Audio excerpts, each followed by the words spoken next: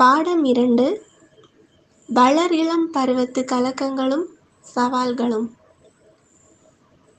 காணாமற் போன மகன் உவமை இயேசு கூறியது ஒருவருக்கு இரண்டு புதல்வர்கள் இருந்தார்கள்.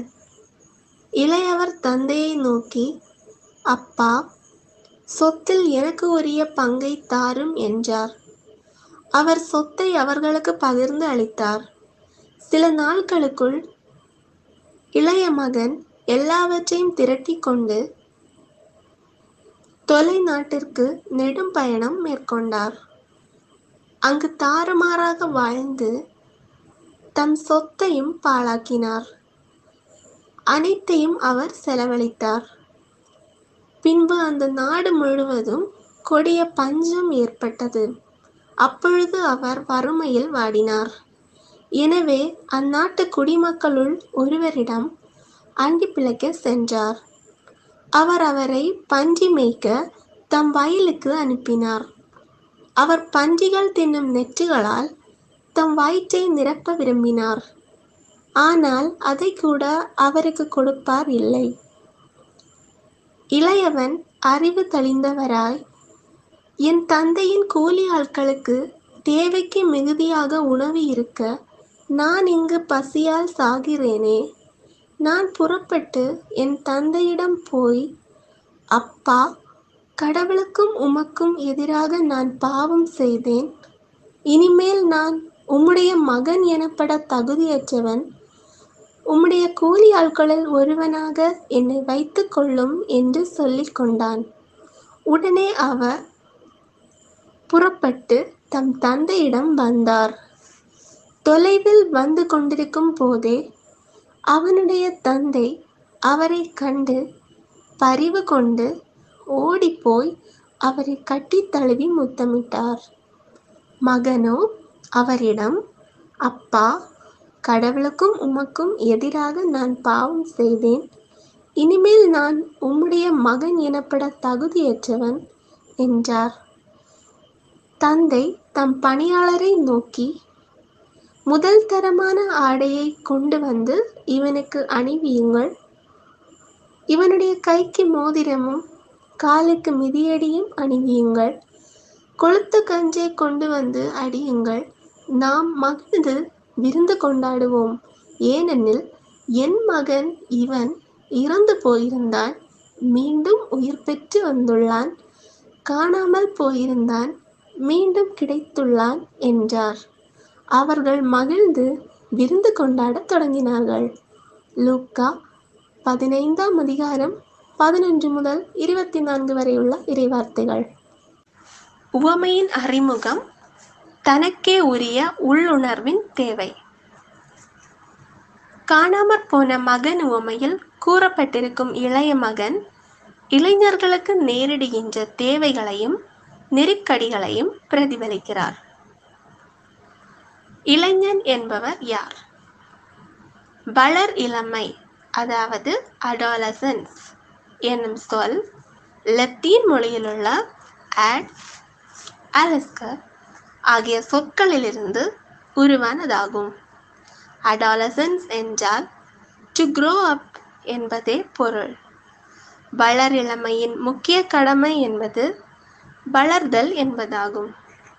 இளமை பருவம் உடல் உறுப்புகளின் வளர்ச்சி மாற்றங்களுடன் தொடங்குகிறது. இளமையின் தொடக்கமான பன்னிரண்டு முதல் பதினெட்டு வயது வரை மிக முக்கியத்துவம் வாய்ந்த பருவமாகும். ஏனெனில் ஒரு நபரின் தனக்கே உரியதான தன் உணர்வின் தேவைகளை எதிர்கொள்வதும் உள்ளுணர்வின் போராட்டங்களுக்கு விடையளிப்பதும் இந்த பருவத்தில் ஆகும்.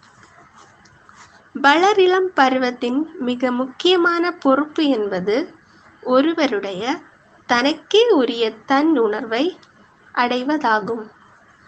உவமையில் கூறப்பட்டிருக்கும் இளைய மகன் அவரது தன்னுணர்வை நிறுவுவதற்கு முயற்சி மேற்கொள்ளவும் அதற்காக போராடுவதையும் பார்க்கிறோம். தனக்கே உரிய தன்னுணர்வு என்பது ஓர் இளைஞனை பொறுத்தமட்டில் இன்றியமையாததும் மிகுந்த ஆவலுக்கு உரியதும் ஆகும் சொத்தில் எனக்கு உரிய பங்கை தாரும் என்று கேட்கும் நிலை அவரது தனித்துவத்தை தேடுகின்ற ஆழ்மன கூக்குரல் ஆகும்.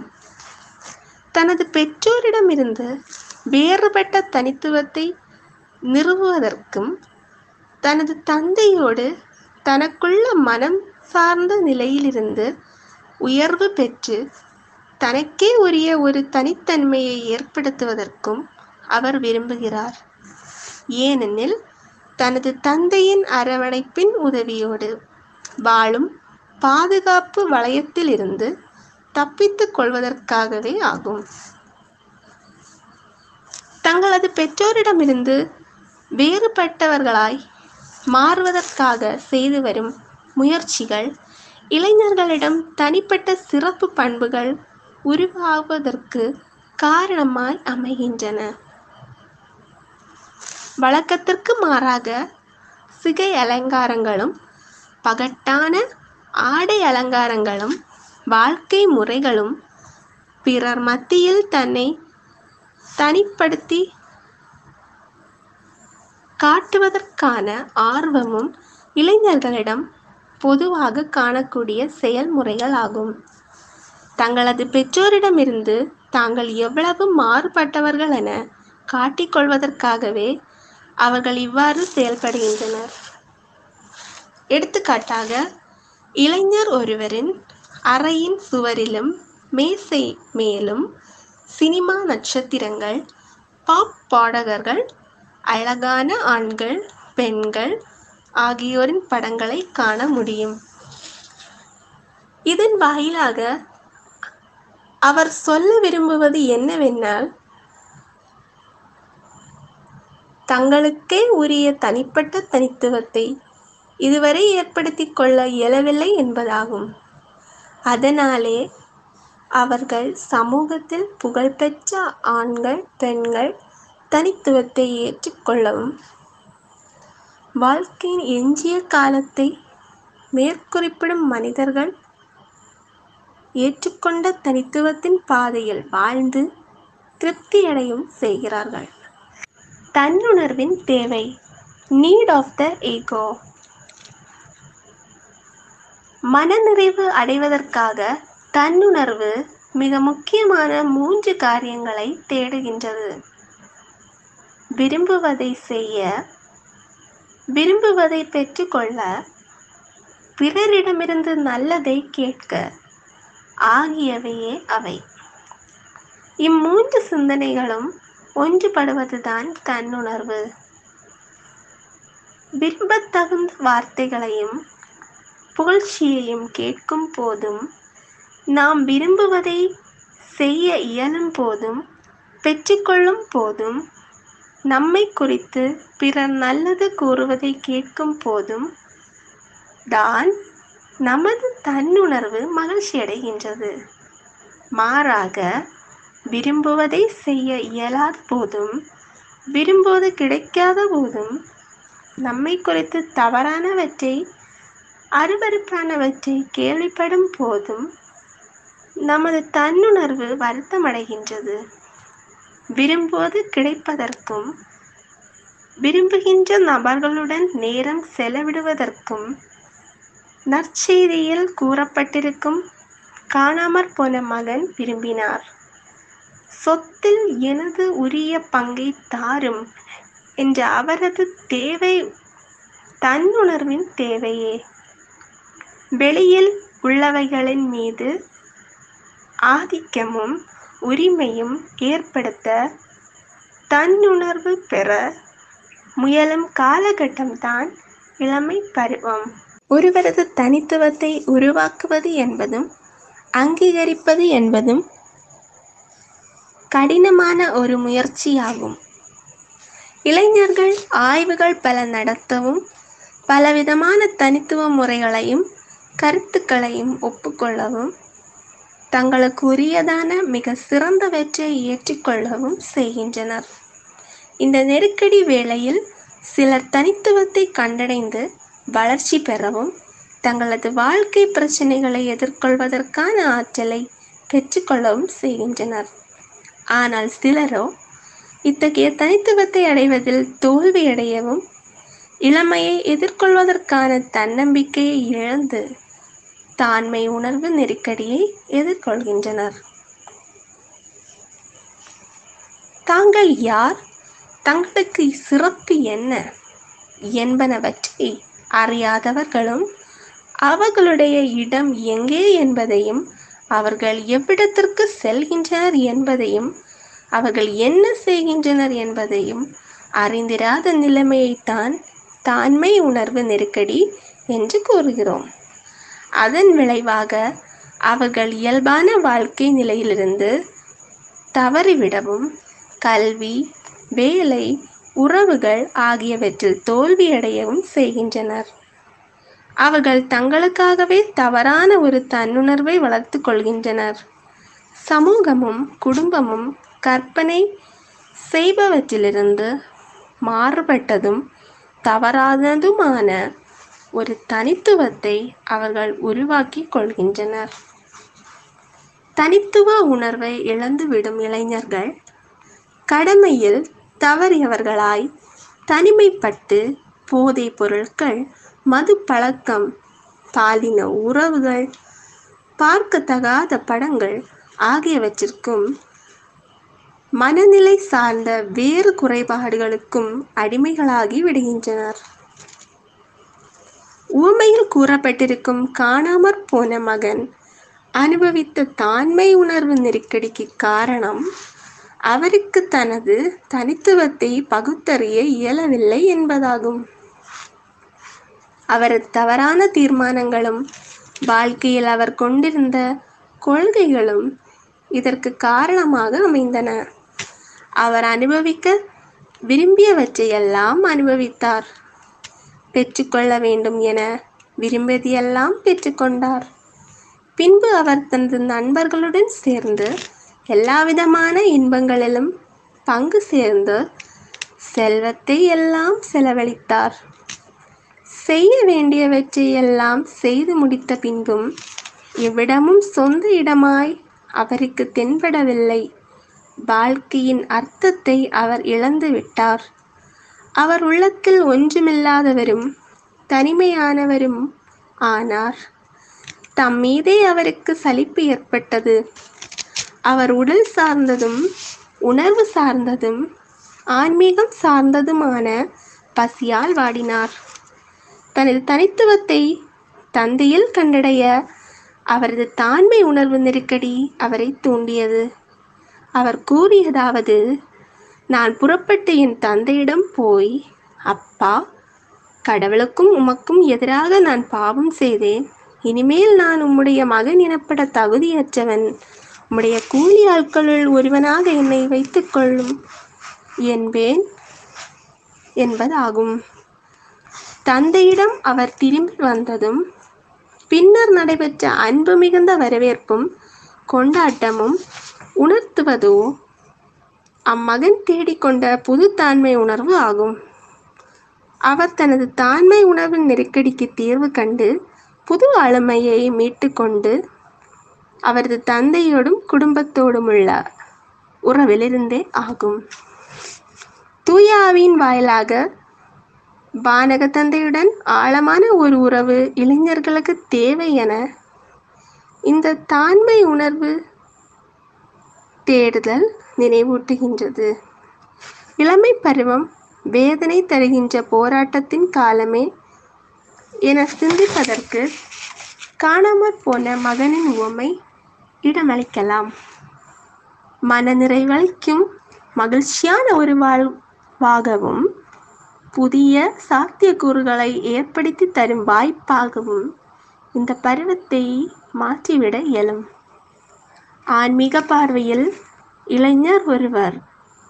தன்னுள்ளே நிலை கொள்ளும் கடவுளோடுள்ள உறவு ஏற்படுத்தி கொள்ளும் காலம்தான் இளமை. தனது தந்தையை நோக்கி காணாமற் போன மகனின் திரும்பி வருதல் நம்முடைய உள்ளுக்குள்ளே நிலை கொள்ளும் ஆன்மீகமான அர்த்தத்தையும் தேவையையும் குறிப்பிடுகின்றது. தந்தையை நோக்கிய அம்மகனின் வருகை மாந்தர் அனைவருடையவும் தனிப்பட்ட இறை அனுபவத்தை நோக்கியுள்ள ஆன்மீக பயணத்தையே குறிப்பிடுகின்றது. மனிதர் தங்களுடைய வாழ்க்கை கண்ணோட்டத்தை விரிவிப்படுத்திக் கொள்வதற்கும் நெருக்கடி நேரங்களில் நற்கருத்துக்களையும் பாதுகாப்பையும் தேடிக்கொள்வதற்கும் தான் ஆன்மீக அனுபவம் பெற்றுக்கொள்ள தாகமாய் இருக்கின்றனர் ஆன்மீக பார்வை என்பதால் புரிந்து கொள்வது கடவுளோடுள்ள உறவில் நமது தன்னுணர்வின் ஆளுமை ஈகோ பர்சனாலிட்டி எவ்வளவு குறைவாக இருக்கிறது என்னும் அறிவையாகும். நற்செல்தியில் வரும்.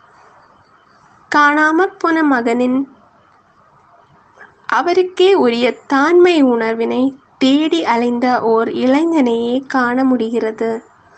தனக்கு விருப்பமானவற்றை செய்தும் அனுபவிக்க விரும்பியவற்றை அனுபவித்தும் தனது நண்பர்களோடு சேர்ந்து உல்லாசமாக வாழ அவர் தனது உண்மையான தனித்துவத்தை தேடினார். ஆனால் பின்னர் அவர் உணர்ந்து கொண்ட உண்மை அவரது உண்மையான தாண்மையை கண்டடைய வேண்டியது அவரது தந்தையோடுள்ள உறவினில்தான். என்னும் உண்மையே. தந்தையாகிய கடவுளிடம் மட்டுமே நமது உண்மையான தனித்துவம் குடிகொண்டிருக்கிறது. ஏனைய தாண்மை உணர்வுகள் அனைத்தும் தவறானவையே. இளைஞரிடம் உள்ள நான்கு தன்னுணர்வு தளங்கள். உளவியல் சார்ந்த ஆய்வுகளின் வாயிலாக இளம் தலைமுறையினரிடம் வெளிப்படுகின்ற நான்கு தன்னுணர்வு தளங்களை குறித்து ஆராய்வோம். ஒன்று லட்சிய உணர்வு இழந்த இளைய தலைமுறை. இரண்டு பின்பற்றப்படும் தாண்மை. மூன்று விமர்சனத்தினுடைய தாண்மை. நான்கு ஆரோக்கியமான தாண்மை. லட்சிய உணர்வு இழந்த இளைய தலைமுறை. வாழ்க்கையில் நான் யார்? யாராக மாற வேண்டும்? என்னும் எண்ணங்களில் தடுமாறுபவர்கள் தங்களது உண்மையான தனித்துவத்தை கண்டடைவதில் கவனம் செலுத்தாதவர்களே. அவர்களுக்கு லட்சிய உணர்வில் இழப்பு ஏற்படலாம். இந்த லட்சிய உணர்வின்மை தங்களது உண்மையான தனித்துவத்தை சீரழித்து விடுகின்ற மதுபானம் போதைப் பொருட்கள் மன குழப்பங்கள் ஆகியவற்றிற்கு அவர்களை இட்டு செல்கின்றது.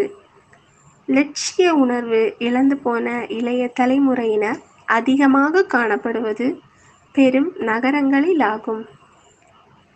அவர்கள் கல்வி கற்பதிலோ கடமையாற்றுவதிலோ வாழ்க்கையை அமைத்து கொள்வதிலோ ஆர்வம் காட்டாமல் தான் தோன்றித்தனமாக வாழ்கின்றனர். அவர்கள் கைபேசிக்கும் ஊடகங்களுக்கும் இணையதளத்திற்கும் பாலுணர்வூட்டும் செயல்பாடுகளுக்கும் அடிமையாகி விடுகின்றனர். பின்பற்றப்படும் தாண்மை. சிலர் தங்களுடைய தாண்மையை தேடியுள்ள பயணத்தை முடித்துவிடவோ வேறு சிலர் அத்தேடுதலை தொடங்கவோ செய்வதில்லை. அவர்கள் அதற்கு பதிலாக தங்கள் பெற்றோருடைய அல்லது முதிர்ச்சியடைந்த வேறு எவருடைய தனித்துவத்தையோ தங்களது தனித்துவமாக ஏற்றுக்கொள்கின்றனர். அவர்கள் பிறரை முன்மாதிரியான ஆண்களாகவோ பெண்களாகவோ எண்ணி தனக்கே உரித்தான தாண்மையை குறித்து சிந்திப்பதில்லை. இளைஞர்கள் சிலர் தாங்கள் யாராக வேண்டும் என்ற அறிவுள்ளவர்களாக இருப்பர். ஆனால் அந்த அறிவு அவர்கள் தங்களை பற்றி சிந்திப்பதற்கு பதிலாக அவர்கள் எப்படிப்பட்டவர்களாக வேண்டுமென பிறர் தீர்மானிக்க செய்கின்றது. எடுத்துக்காட்டாக இளைஞர் ஒருவர் மருத்துவர் ஆக வேண்டும் என விரும்புவது தங்களது தந்தையோ தாயோ மருத்துவராய் இருப்பதனால் ஆகலாம். அந்த இளைஞர் தங்களது திறமை மற்றும் விருப்பத்தை ஒருபோதும் எண்ணி பார்ப்பதில்லை. எனினும் அவர்கள் சிந்தித்திராத துறைகளில் அமர்த்தப்படுகின்றனர். இப்படிப்பட்ட இளையோர்களுக்கு ஏமாற்றமும் ஏற்படவும். தாங்கள் பெற்றுக்கொண்ட தொழிலமைப்பில் நம்பிக்கை குறைவு அடைந்தவராய் இது நான் அல்ல இதை நான் தேர்ந்தெடுத்தது நான் அல்லேன் என கூறுவர். எனவே நான் யார் என்பதையும் எனக்கு என்ன தேவை என்பதையும் ஒருவர் தானாகவே கண்டடைய வேண்டும். விமர்சனத்தினுடைய தாண்மை. விமர்சனத்தின் வாயிலாக தாழ்மையை நோக்கி வளரும் இளைஞர்கள் பணித்துறை சார்ந்த வாழ்விற்கோ சமூகம் சார்ந்த விழுமியங்களுக்கோ தங்களை அர்ப்பணிப்பதில்லை. அவர்கள் வழக்கத்திலிருந்தும் எல்லாவற்றையும் கேள்வி எழுப்பி எதிர்த்து நிற்கவும் தங்களுக்கு உண்மையான என்ன தேவை என்பதையும் அவர்கள் யார் என்பதையும் தொடர்ந்து விசாரித்து அறிந்து கொள்ளவும் செய்கின்றனர். அவர்கள் தலைமை பொறுப்பில் இருக்கும் நபர்களிடம் கேள்வி எழுப்பவும் வழக்கத்தில் இருக்கும் வழிமுறைகளிலிருந்து அவர்களை வேறுபடுத்தி காட்டிக்கொள்ளவும் பொது சமூகத்திற்கு எதிராக செயல்படவும் முயல்கின்றனர். அவர்கள் தங்களுக்கே உரிய தாண்மையை நிறுவிட முயல்வது ஏதாவது வழக்கத்தில் இருக்கும் வழிமுறைகளுக்கு எதிராக செயல்பட்டு கொண்டே ஆகும். அவர்களுடைய நியாயமான தேடுதலில் பெற்றோருக்கும் ஆசிரியர்களுக்கும் தலைமை பதவியில் இருப்பவர்களுக்கும் சவால் விடுத்து தங்களுடைய வாழ்க்கை மதிப்பீடுகளையும் நம்பிக்கை தொகுப்புகளையும் நிலைநாட்டுவதற்கு முயல்கின்றனர். ஆரோக்கியமான தாண்மை விமர்சிப்பதன் வாயிலாகவும் எதிர்த்து போராடுவதன் வாயிலாகவும் தங்களது தாண்மையை கண்டடைய முயலும் சிலர் அவர்களுடைய உண்மையான தாண்மையை பின்னர் கண்டடைகின்றனர். அவர்களையே ஆரோக்கியமான தாண்மை பெற்றவர்கள் என நாம் புரிந்து கொள்கிறோம். அவர்கள் தங்களது உண்மையான ஆளுமையை தெளிவாக அறிந்து கொள்கின்றனர். இந்த பகுத்தறிவு சில பணிக்கடமைகளுக்கு தங்களையே அர்ப்பணிப்பதற்கும் பொறுப்புகளை ஏற்பதற்கும் அவர்களை தகுதி உள்ளவர்களாக்கி விடுகின்றது.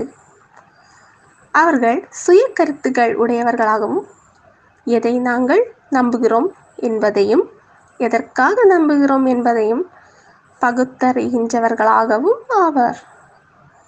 இப்போது அவர்கள் யார் என்பதில் மனநிறைவு உடையவர்கள் ஆகிறார்கள்.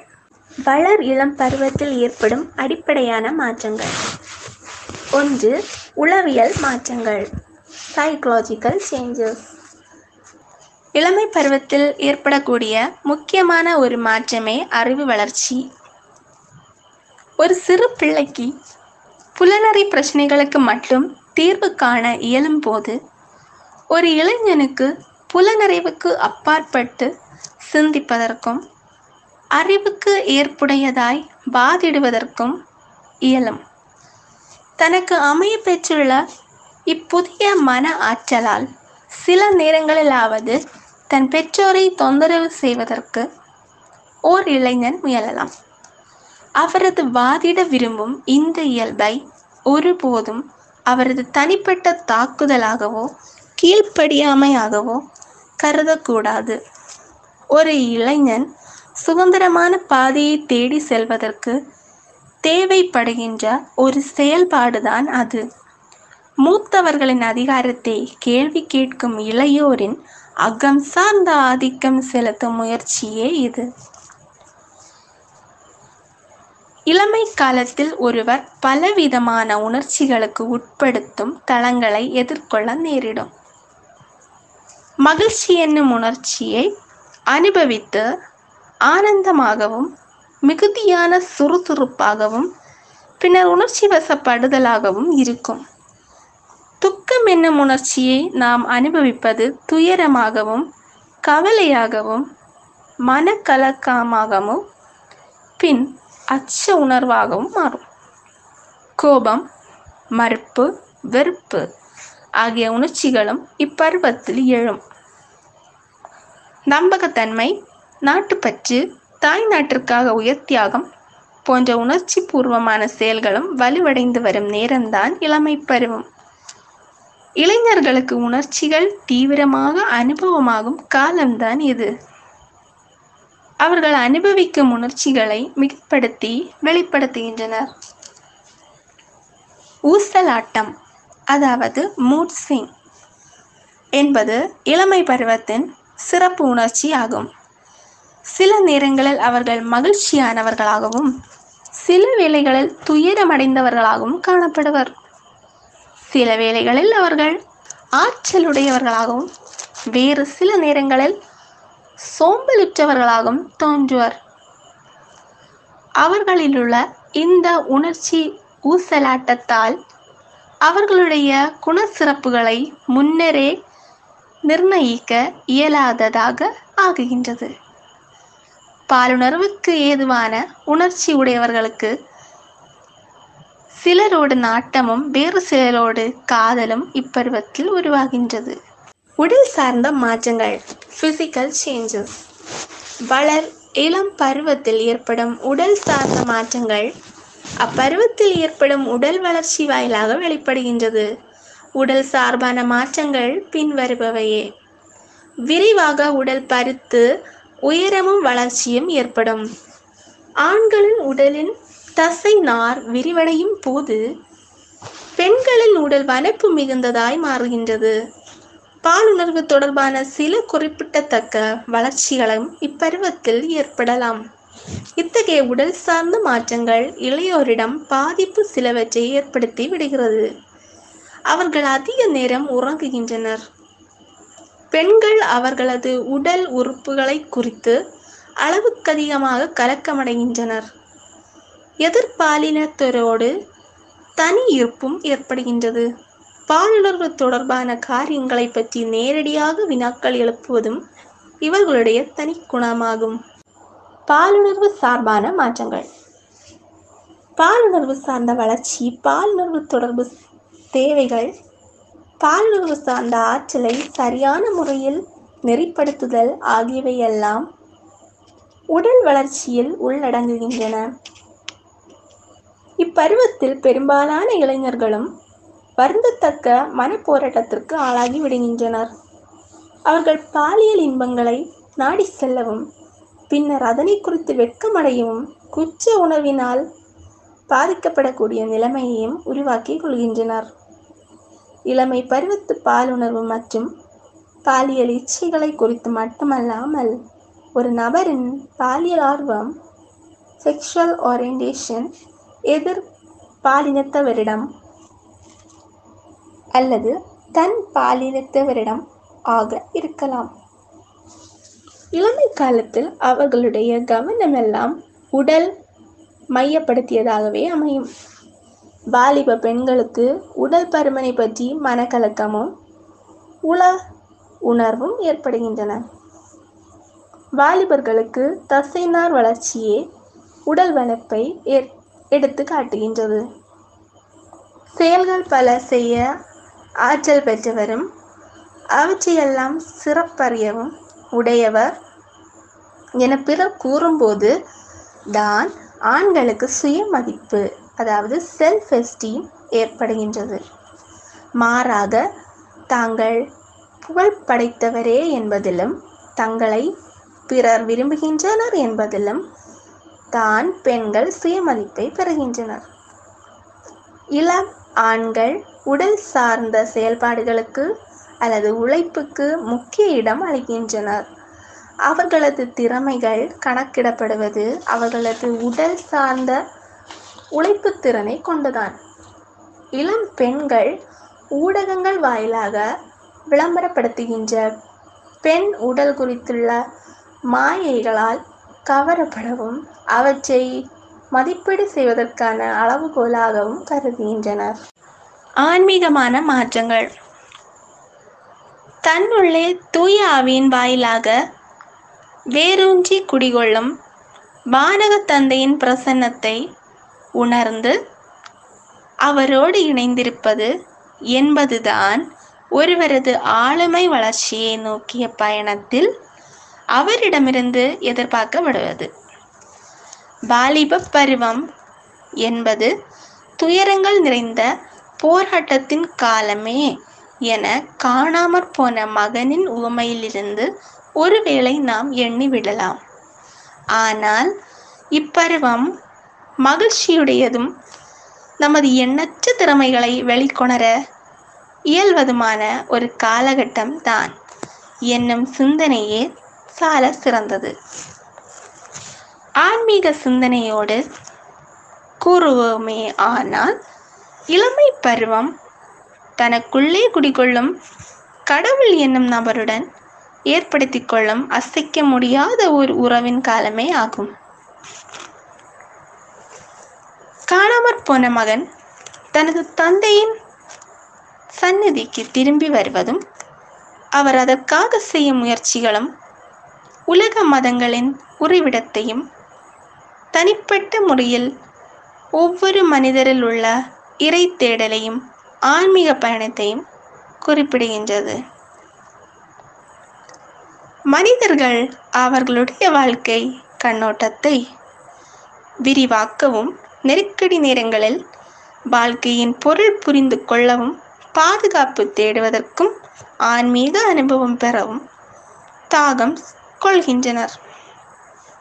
ஆன்மீக பார்வையில் என்றால் கடவுளோடுள்ள உறவில் நமது தன்னுணர்வின் ஆளுமை எவ்வளவோ சிறியதாய் உள்ளது என்னும் பகுத்தறிவாகும். நற்செய்தியில் வரும் காணாமல் போன மகனின் தனக்கே உரியதான தான்மையை தேடி அலைந்த ஓர் இளைஞனையே காண முடிகிறது. தனக்கு விருப்பமானதை செய்தும் அனுபவித்ததற்கு விரும்பியதை அனுபவித்தும் தனது நண்பர்களுடன் சேர்ந்து உல்லாசமாக வாழ்ந்தும் அவர் தனது உண்மையான தான்மையை தேடினார்.